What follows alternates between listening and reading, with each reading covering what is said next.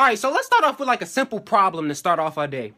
Okay, so here's one. Um, Johnny has 19 bottles of dish soap, and he gives. Wait, G- why does Johnny have so many soaps in the first place? Mind your business, David. Why you worrying about it? It's my life. Damn. Are y'all done? All right, so let me finish up my problem, please.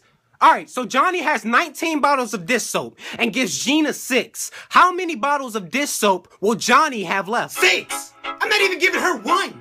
Ain't pitching for none of this. Hey, Gina, step your back. Hey, Johnny, give her the dish soaps. It's in the problem. I can give her some, because I seen her picking her nose earlier.